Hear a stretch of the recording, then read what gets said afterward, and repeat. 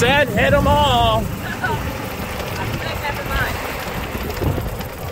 Um, I don't know what never mind meant. oh. Thank you, right. Another bomb.